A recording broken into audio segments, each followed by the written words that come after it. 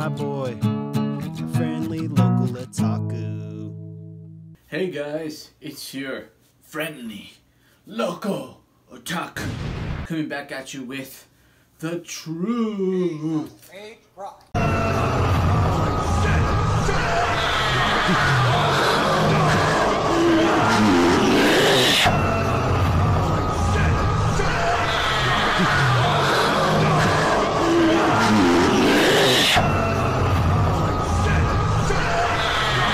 As you could have uh, probably guessed already, this is going to be one of your typical top 10 most best greatest anime movie of all time. Oh yeah, fuck yeah. Oh. These are just kind of the biggest anime movies or recently that really kind of just impact me in some way or just in like enjoyment level. Blah blah blah blah. blah you know, kind of the order at the moment in my life that like kind of just I love the most, and I'll kind of like kind of just give summary of what they are and you know what I find the most interesting about them and stuff, yada yada, etc. etc. So, without further ado, let's go on with honorable mentions. Ha ha ha.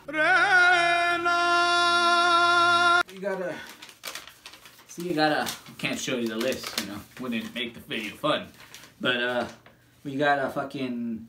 Couldn't start off the li- the honorable mentions list with the fucking uh, G- Studio Ghibli film, Porco Rosso, and yeah, I fucking, I fucking love that film, man. It really, really was fucking love the adventure. Just love like, just the characters. It felt really, just what we don't really have nowadays, man. Just like kind of risks and just kind of go show you that like Hayao Miyazaki was is kind of like one in a lifetime, you know, fucking directors, man.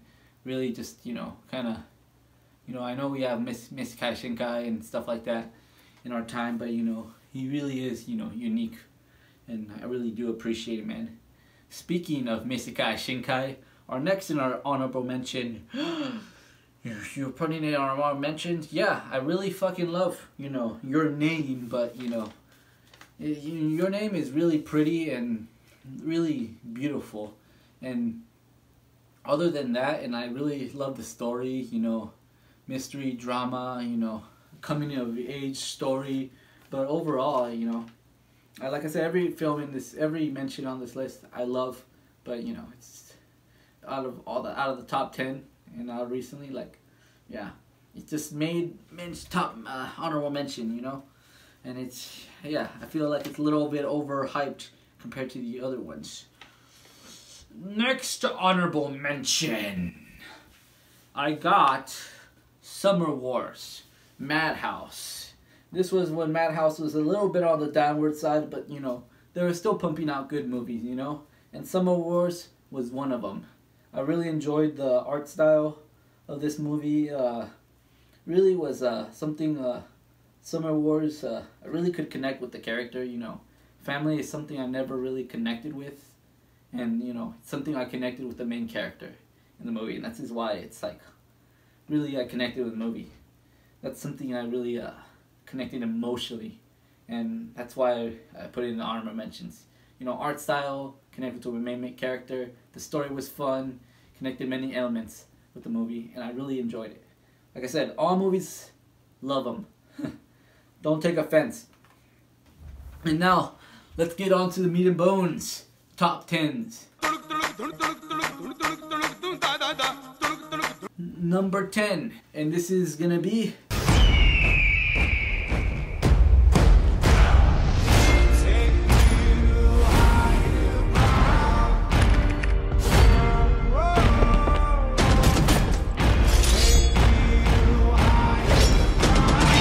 The King's Avatar. Yes, and I can highly suggest this movie. Yes, this movie is from motherfucking China. But fuck it, anime is basically animation, so fuck you casuals and elitists that are fucking crying right now that I use the word anime for animation. But yeah, The King's Avatar. Back to the point. The King's Avatar is fucking uses CGI right and it uses it beautifully, especially movie level quality like I've never seen before. Or maybe I have seen it before, but they use it so damn well throughout the movie. The fucking main character is on point like he always is. Fucking, it's like a prequel to like the Myth series, so you don't have to watch the actual series. You could actually watch the movie first if you want to. It's actually I would recommend the movie first so you could get into the series. And yeah, yeah, it's, it's really good. If you if you have your doubts about CGI like I did, China is leading the fucking whooping I think Japan's ass overall. I think this movie looks a lot better than fucking say anything fucking Japan's doing CGI wise. Demon Slayer. Anyways, next on the list, number nine. Yeah, I held up number three. What are you gonna fucking do from your fucking keyboards, bitches? Anyways, number nine, Mind Games. Oh, I've talked about this on my channel, man. Like you know, kind of just briefly, but Mind Games, or Mind Game. Yeah, it's it's basically LSD on drug, like LSD. The the anime. It's fucking. It's just they combine. So the guy, the, the director, just he's known to just uh, just have no style whatsoever, and it's it's great, man. You just you're just like consistently just being blown away, like how many styles you can mix so well, and this just like this story is just kind of always have you just tripping balls. See what I did there? Anyways, go check out that, and uh, yeah, it's it's also just one more thing before we move on to the next one. Uh, the movie was released in 2018 in the U.S., but the movie didn't actually come out until 2003, which is pretty insane, man. It just shows you that, like, in some ways we regressed, man. Number eight.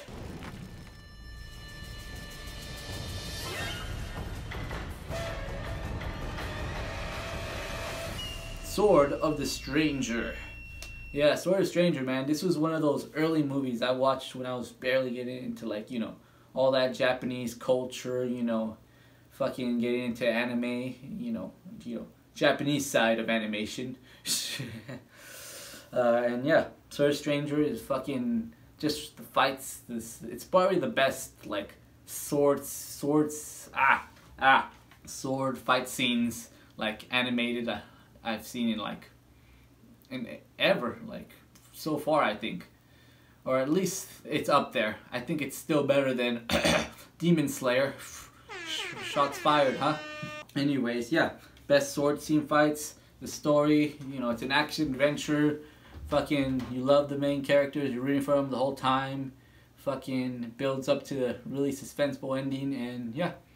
You're just uh it's a really huge build up to the end and I really enjoy it. Alright, let's move on to the next one. K-On! the movie. So disclaimer for this one, uh, this one you kind of have to watch two seasons of, uh, of the actual like you know series to actually you know watch the movie. So just letting you know right there before you get in want to watch this movie. But yeah, I really enjoy this movie. I've seen it like four times and I just can't get enough my girls, man.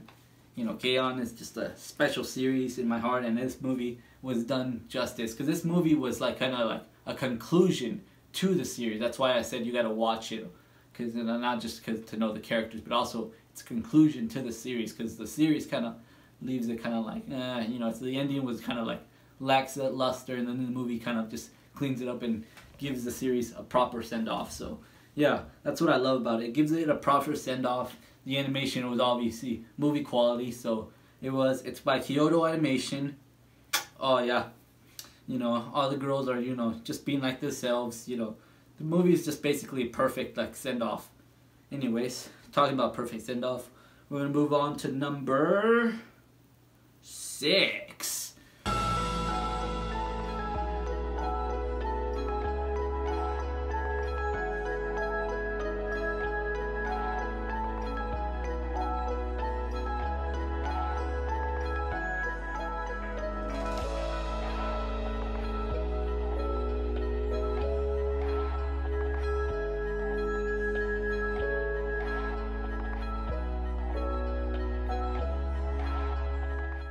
And speaking of which, uh, when the year that came out, fucking, what, what, your name, the movie that year, there was another movie that came out that was kind of, you know, that was overshadowed by it. And this is our uh, entry into number six, A Silent Voice.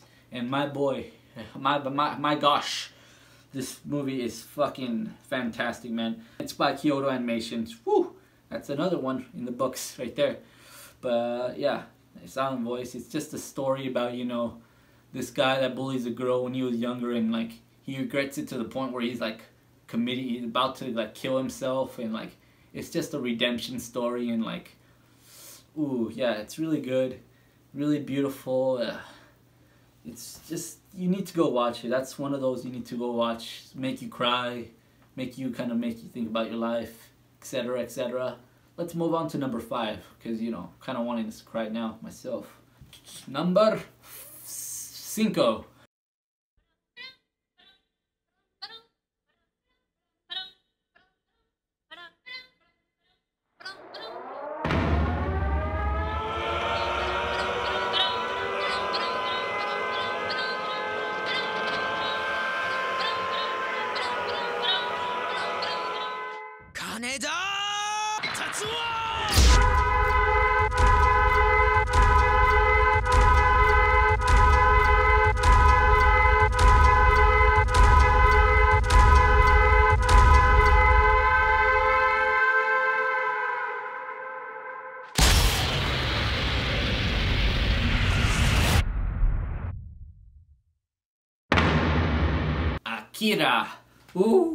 I got my friend, like, he watched it before me and he told me, like, it's a classic for a reason. So I was like, like, once he told me, I was like, alright, I'm gonna watch it, you know. In the first two minutes of watching it, I had tears running down my eyes. Not because I was like, in, like, you know, obviously there was emotion, but I was just like, holy shit, man.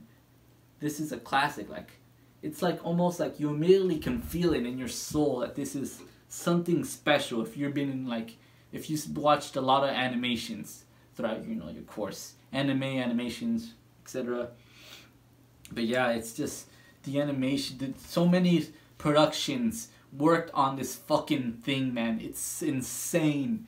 This thing like lost money. Oh why do so many like things that are so influential? This akira shaped anime this thing was like the pinnacle. This this film is a reference. Inspired so many people inspired so many works and it's just you, Akira is a staple of why people should experiment. Even if it's a failure, it could lead to so many other things. This is why I, I just hate how like we're in a state of like stagnant nowadays. Akira is an example of why we should still push forward. Like money, like you know, risks over you know profit. You know. Anyways, let's move on to the next one. And number four.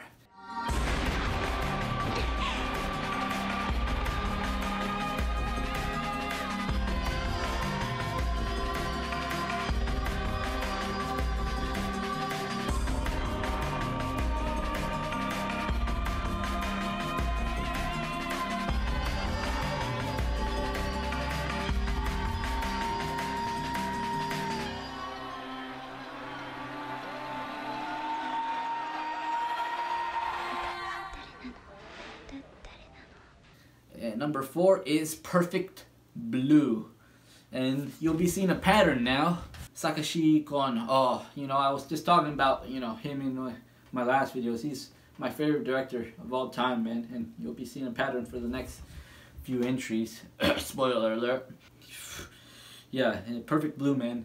That, that, there's so many consciousness levels, like, playing in that movie, man. Like, I literally like for the main character because I like to put myself in the main character didn't know what the fuck was going on in real life in that movie. Like I was like what's going on? What is real?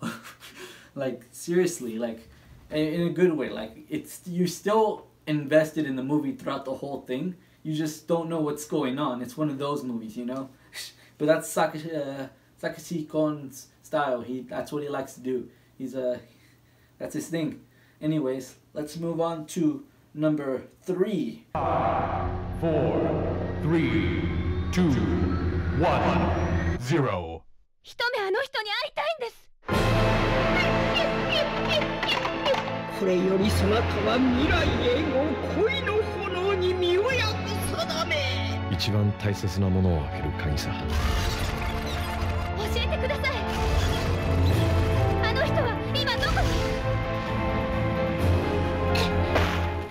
いつか約束した場所で。行けば二度と戻ってこられません。毎日あの人を好きになってくんだもの.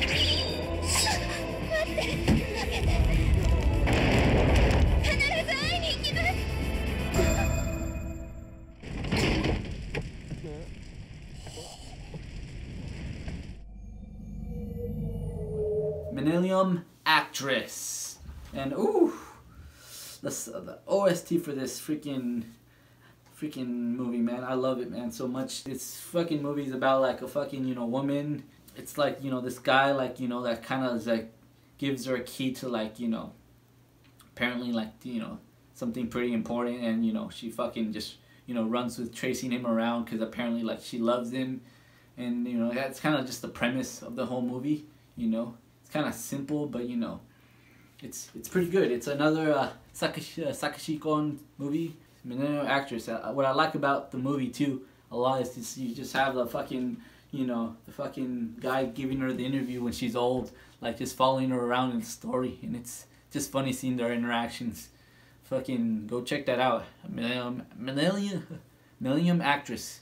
And then we move on to number two.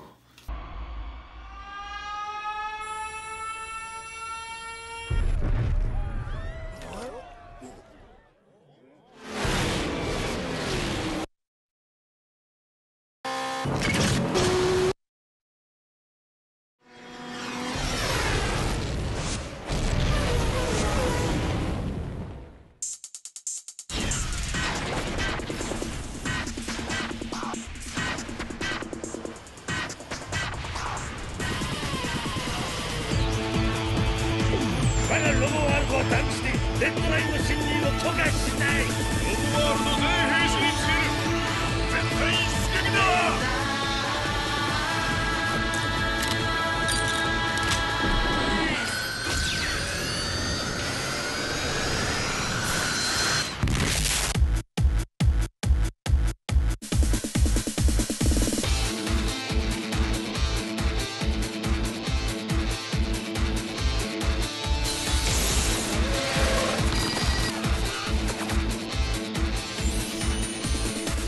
Takuya Kimura Yu Aoi Tadanobu Asano